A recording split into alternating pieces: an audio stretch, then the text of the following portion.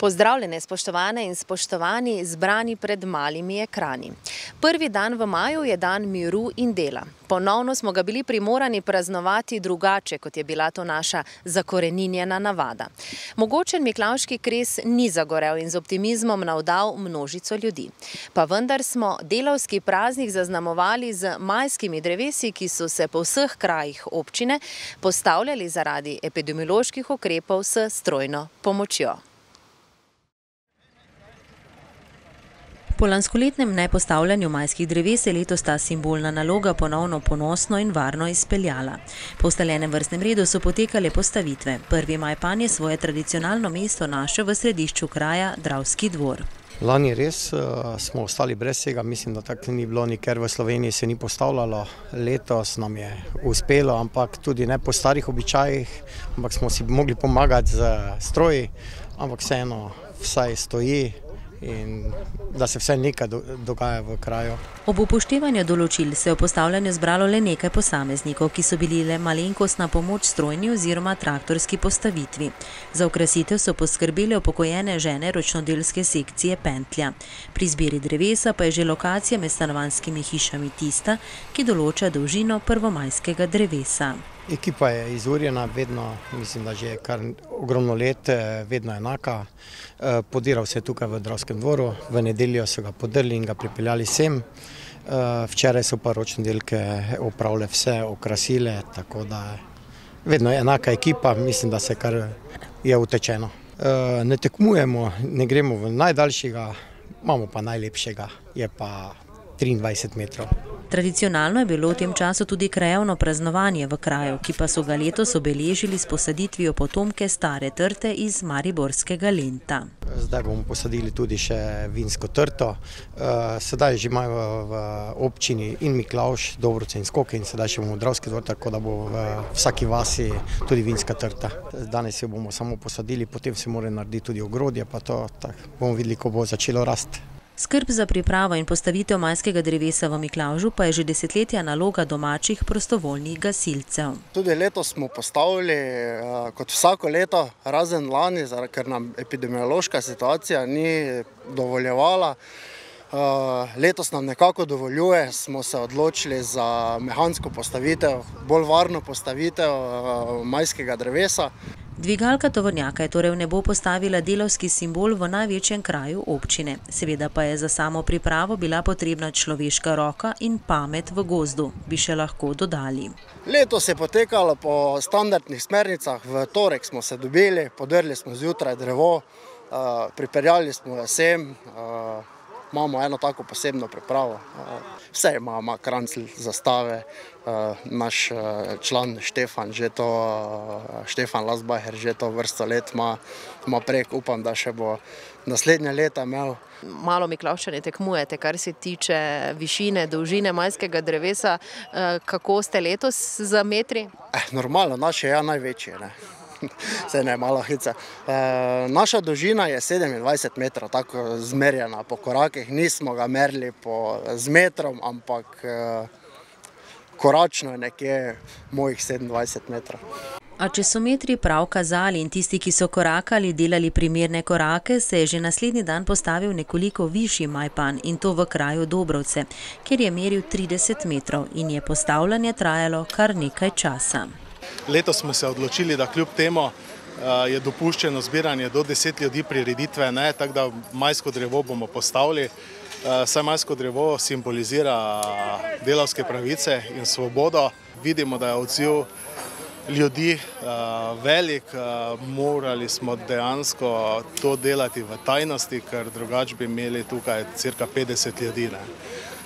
Tak način postavljanja majskih dreves v naši okolici je že tradicija sto let.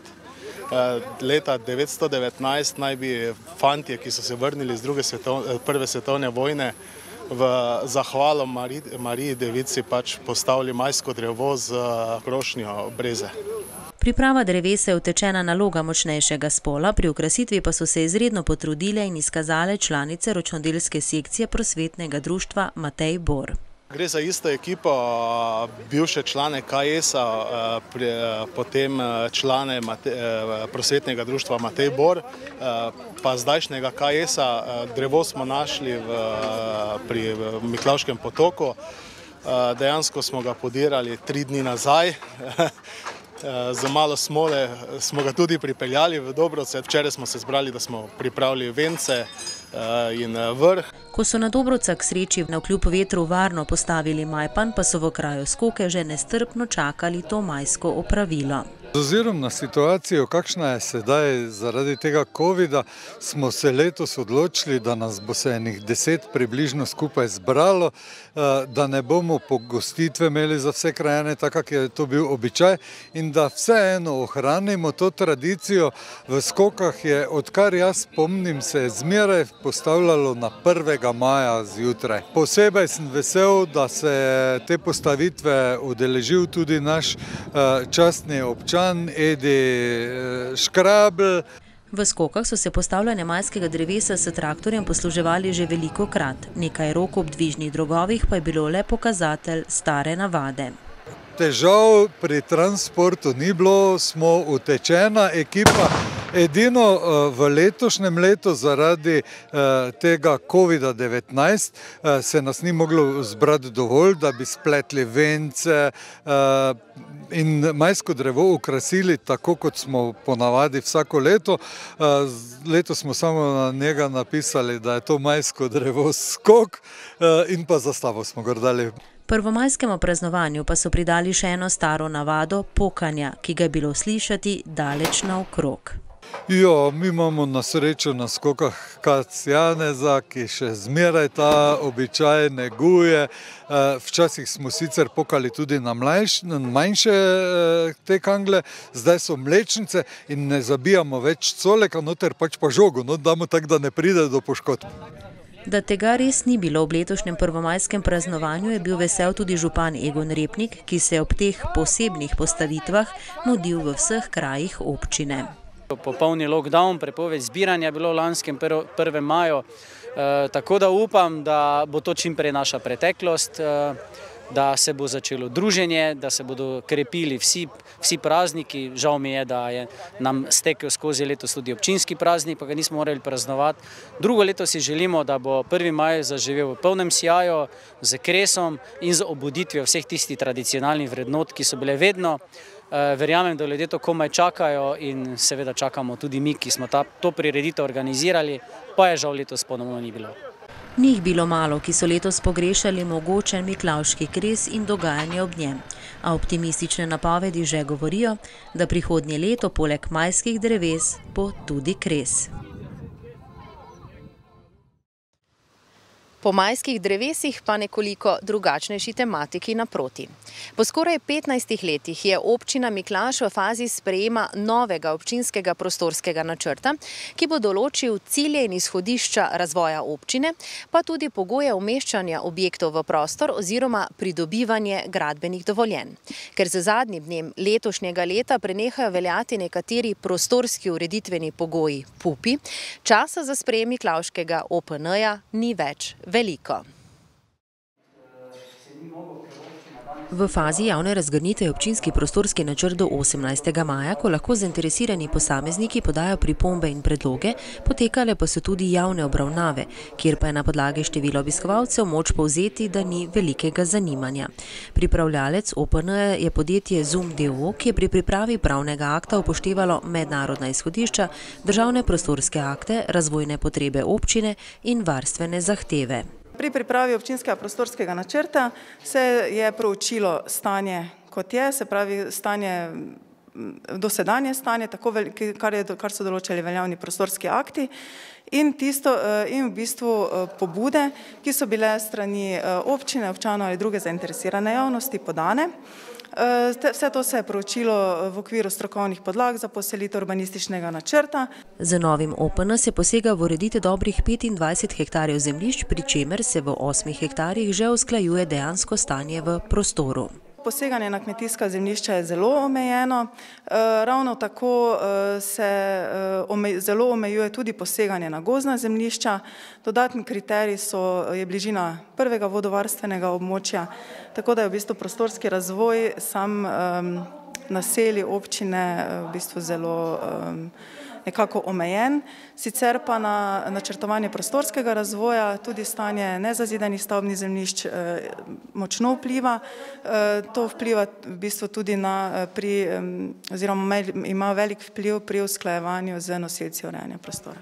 Za OPN je potrebno pridobiti okoljsko poročilo z dodatkom zavarovana območja, ki ocenjuje vplive izvedbe OPN-ja na okolje. Z zakonodajo je predpisana vsebina okoljskega poročila, tako da smo v okviru izdelave okoljskega poročila proučili vplive na površinske vode, podzemne vode, kulturno dediščino, krajino, varovana območja narave in tudi na zdravje ljudi. Veliko usklajevanja je bilo z Ministrstvom za kmetijstvo, z Ministrstvom za varstvo v bistvu z Zavodom za varstvo narave, namreč vaša občina ima kar precej režimov varstva okolja, od varovanja pitne vode, varovanja narave, kar precej kulturne dediščine.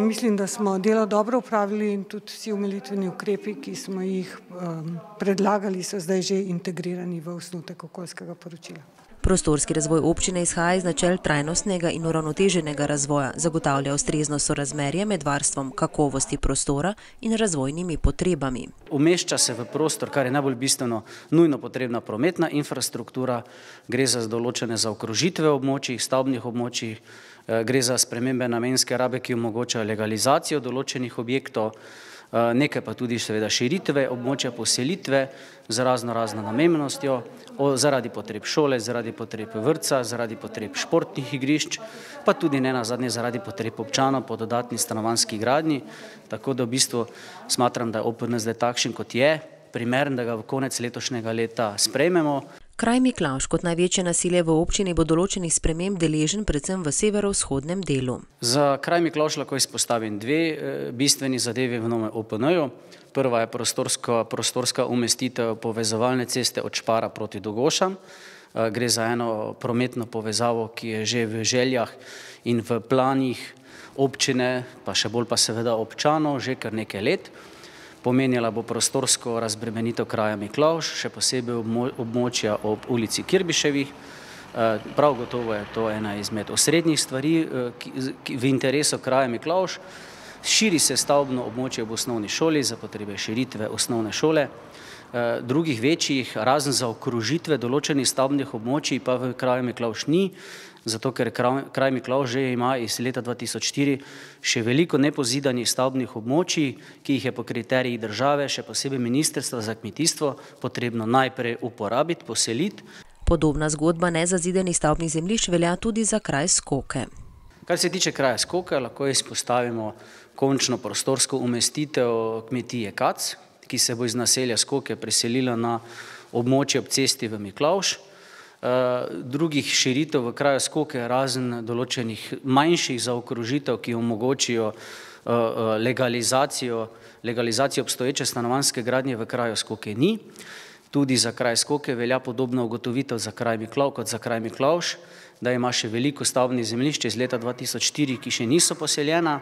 V Dobrovcah bo sprememba namembnosti zemljišč ob ulici Na Pristance, sedanje večje gozdno območje bo stavbno tudi med športnim parkom in Kidričevo cesto. Kar se tiče kraja Dobrovce, je najpomembnejša novost umestitev, prostorska umestitev povezovalne ceste od šole do športnega parka, prav tako v interesu kraja že kar nekaj let. Končno nastala prostorska podlaga za umestitev te ceste. V Dobrovcah je pa prvič v prostorskem planu oziroma OPN-ju malo večja, večja širitev stavbnih zemljišč, pravzaprav celotno območje med športnim parkom in Kidričevo cesto je država spoznala kot območje, ki ni namenjeno kmetijstvu in ga je kar hitro sama predlagala, da se ga spremeni v stavbno območje. To je kar večji del ali pa velik del zahodnega dela Dobrovc, kar bo na neki način zagotavljalo prostorski razvoj kraja za naslednja leta. Tako imenovana promenada v Dravskem dvoru bo v prihodnje omogočala gradnjo na obeh straneh ulice. V kraju Dravski dvor smo pa dobili prav tako novo stavbno območje v Lovski ulici, to pa predvsem zato, da se obstoječa infrastruktura izkoristi za stanovansko gradnjo, to se pravi, da se gradi tam, kjer infrastrukturo že imamo izgrajeno. Tudi kraj Dravski dvor še ima rezerve stavbnih zemljišč iz leta 2004, pomembno pa tudi to, da, kraj, da se v kraju Dravskem dvoru prostorsko umešča tudi merilno-regulacijska postaja, to pomeni, da bomo končno dobili objekt, iz katerega bomo lahko izgradili plinovodno mrežje in dobavljali plin po celotnem južnem delu, uh, južnem delu občine, najprej seveda v kraj Dravski dvor. Občinski prostorski načrt občine Miklaž bo potrjen, ko mu bo zelen luč podal občinski svet in bo objavljen v uradnem medobčinskem vesniku, kar se predvideva letošnjo jesen. Vsako jutro je pred matično in podružnično šolo veselo, ne le zaradi prihodov staršev in otrok. Tokrat je namreč ponovno potekala akcija preverjanja pripasanosti otrok v vozilih. S policisti in ostalimi udeleženci smo pripenjanje preverjali tudi mi. Red je vedno pas, pripet se imenuje preventivna akcija, ki v občini poteka že okoli 15 let. Za večino otrok in staršev so varnostni sedeži in pripenjanje varnostnih pasov precej samoumevni in prav to je tudi cilj te akcije. Danes izvajamo akcijo, ki se v glavnem opravlja na našem lokalnem nivoju, katerega avtori smo mi, Svet za preventivno vzgojo v cestnem prometu, in se imenuje Red je vedno pas, pripet. In uh, To akcijo upravljamo že približno cirka 15 let, letos je nekje približno 15 leto. Uh, kot vidite, ne, pač vsako leto opravljamo ta nadzor, razen lanskem letu, ko je bila uh, pač, uh, slika, epidemiološka slika taka, da te, tega ni bilo možno izvesti. In pa v sklopu te akcije nam, potem nabavimo te eh, medvedke eh, policiste in vsem otrokom, ki so pripeti in na posebnih eh, otroških varnostnih sedežih, podelimo eno igračko tega medvedka. Ker gre pri akciji za naše najranljivejše udeležence cestnega prometa, jo podpirajo številni akterji. Akcijo organizira Svet za preventivo in vzgojo v cestnem prometu ali krajše SPV. Udeležijo se seveda vse vzgojno-izobraževalne enote, torej obe šoli in oba vrtca v občini, nekaj let sedaj tudi redarska služba in policist, ki akcijo spremlja že okoli deset let nadziramo prihod otrok v šolo, dejansko eh, prevoze, kako jih pripeljajo starši in kontroliramo te eh, stvari, prekrške in podobne stvari. Dejansko večji del opozarjamo, koliko je možno, vse, ki pa so spoštujejo predpise, cestno-prometne predpise, pa seveda otroke nagradimo z simboličnimi nagradami, ki so v bistvu že tradicionalne te policisti medvedke. Ne. Red je vedno pas, pripet poteka v okviru projekta Pasovček, ki je izredno uspešen in razširjen projekt na področju prometne vzgoje. Agencija za varnost prometa Republike Slovenije vsako leto razpiše en projekt Pasovček, ne, na katerega se vedno in vesno prijavijo naš, naša šola, nižja stopnja in pa višja stopnja predšolske vzgoje. In ta projekt traja nekje od meseca oktobra pa nekje do meseca marca. Eh, in za zaključek projekta, ne, eh, ki otroci govorijo o, o varnostni sedeži na varnostnem pasu, eh, kako je to pomembno in življenjskega pomena in potrebno za varnost prometa, Potem mi eh, za zaključek tega projekta, pač eh, tako danes izvedemo to akcijo, je vedno pas pripet in ki dobijo potem te nagrade, te medvedke za zaključek. Čeprav policija predstavlja represivni organ, pa se v tej akciji raje poslužuje opozoril, se so vseeno starši tisti, ki odgovarjajo za varnost svojega otroka. Dejansko se še vedno zgodi, da so kakšni prekrški, ko otroci niso pravilno nameščeni v sedežih in podobno. Dejansko za letošnjo leto lahko povemo, da smo zaznali šest kršitev, eh, dejansko smo pa, bi, rak, bi rekel, kontrolirali nekje 300 vozil oziroma 300 prihodov otrok v šolo. Za vseh šest smo pa seveda tudi letos izrekli opozorilo in mislimo, da bo doseglo namen, da bomo prišli na število nula v prihodnem letu. Lanska akcija je odpadla, zato je ravnateljica šole letošnje izvedbe toliko bolj vesela in jo tudi budno spremlja. Veste, da to spremljamo, vse je vedno cilj, ti spremljaš, kaj je. Ampak moramo tu reči, da v bistvu nekega napredka ni zato, ker so starši teh otrok, ko so še v tako ranem obdobju otroštva, zelo dosledni do njih in se zavedajo, kako pomembno je to. Tako da lahko rečemo, da gre za skoraj 95-odstotno spoštovanje cestno-predmetnih predpisov in to kar od vsega začetka. Da pa še vedno se kdo najde, kateri mogoče misli, da to ni tako potrebno. Hkrati pa opaža, da skrb za varnost in lastno življenje s starostjo otrok očitno pada. Drugače pa ja, starši so v rani mladosti otroštva zelo odgovorni do svojih uh, otrok, uh, vejo, da z vzorom so največji pokazatelji tega, uh, potem se pa ta kultura uh, ljudi do svojih otrok malo uh, spusti, poslabša in ugotavljamo, da pa ko bi mogli imeti v šestem razredu čalade in se pripeljajo z, od šestega seveda naprej, eh, takrat pa eh, to pade.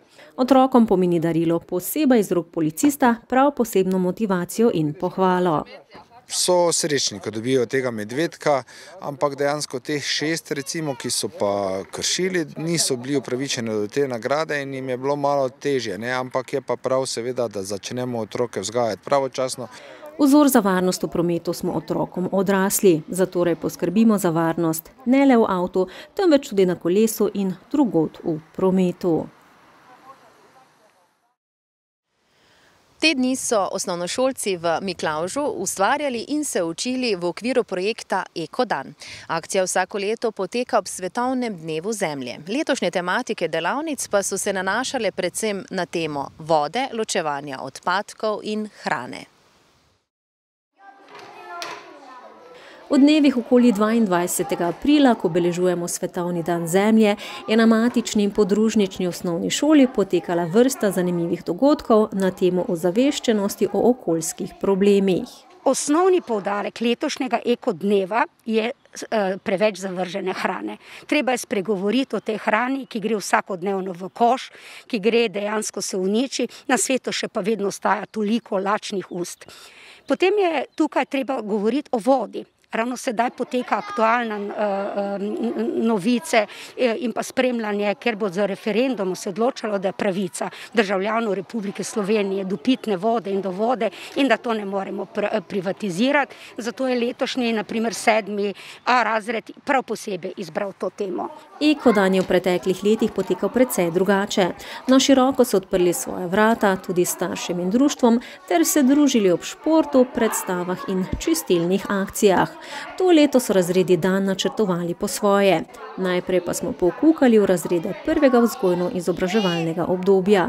Danes izdelujemo didaktične igrače iz odpadnega materijala. E, otroci, zdaj pa se malo spomnite, ko smo se v tem tednu pogovarjali veliko o tem, česa je od odpadnega materijala največ škodljivega v naravi, Klemen. Največ škodljivega materijala je v naravi plastike in je najbolj nevarna za želve in vsa druga bitja. Super. Kaj se pa zgodi z živalmi, ki plavajo v vodi, eh, pa je tam veliko plastike? Kaj se zgodi? Zapletejo se v mreže in tako poginejo. Tudi tretji razredi so spoznavali pomen onesnaženosti okolja. Veliko razredov prvega vzgojno-izobraževalnega obdobja je za svoje projekte uporabljalo prav odpadno embalažo. Gre tukaj za družabne igre, bomo izdelovali didaktične pripomočke, instrumente, ki jih bomo potem uporabljali pri samem pouku, ne, hkrati pa tudi pri, uh, raz, uh, v času uh, odmorov, ne, uh, tako da se bodo učenci preko tega še družili, igrali. Uh, Naprej so kolegice v petem razredu bodo izdelali veterno kolo, filtrirali bodo vodo, ne. prav tako v četrtem razredu bodo pa izdelali malce večje igre, ne. torej na mizni nogometi iz odpadne embalaže, skratka stvari, ki jih bodo lahko pri pouku in pa med odmori uporabljali. Veliko razredov tretjega obdobja je izbralo temo vode, ki je v luči zbiranja podpisov za referendum proti privatizaciji vode in pitnih virov še kako pomembna. Na splošnem pitna voda se mi ne zavedamo zaradi tega, ker jo imamo vse čas. Kot smo slišali danes Filipa je povedal, da milijarda 900 milijonov ljudi nima dostopa do pitne vode, ko se mi v njej kopamo dejansko in zato smo izbrali kar nekaj razredov na višji stopni temo vode vode. Zaradi puka nadaljavo so lani največ izgubili lanski osmi oziroma letošnji deveti razredi, ki ponavadi v parku prijateljstva sadijo drevo. Izguba pa ni bila toliko vsebinska, koliko bolj iz vedika socialnih odnosov in druženja s prijatelji. Zato bodo jutri predstavniki devetih razredov v parku prijateljstva, kjer se sedaj nahajamo, tudi posadili uh, živeči fosil, to je drevo ginko, ki je seveda znak spoštovanja in spoštovanje tudi do učencev, kateri so znali to krizo skupaj z svojimi starši in učitelji dejansko, pa da ne rečem premagati, ampak premagovati. Nismo si mogli kaj, da ne bi pogledali tudi med morebitne bodoče znanstvenike, ki so pripravljali prav poseben in eksploziven projekt. Izdelujemo vodne rakete, to so dejansko plastenke napolnjene z vodo, ki pod pritiskom prevelikega zraka eksplodirajo in odnese v luft. Pa je to kaj nevarno? E, pač zna biti, samo mi smo vedno previdni, zato smo že delali dodatno rampo, da se ne bo v nos slučajno zaletelo. In če se vrnemo nazaj k temi voda, brez katere življenje na tem planetu ni možno, so imeli učenci sedmega razreda posebno sporočilo za nas, ki se navezuje na zbiranje podpisov proti privatizaciji vode, to pa se glasi: Vode!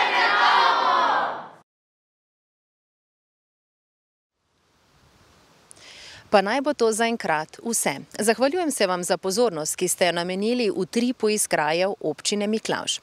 Če pa si želite trenutek zase, pogled na polje in gozdove, slišati ptičje petje, srečati srne, je sprehajalna pot vzdolž hidroenergetskega kanala prava izbira.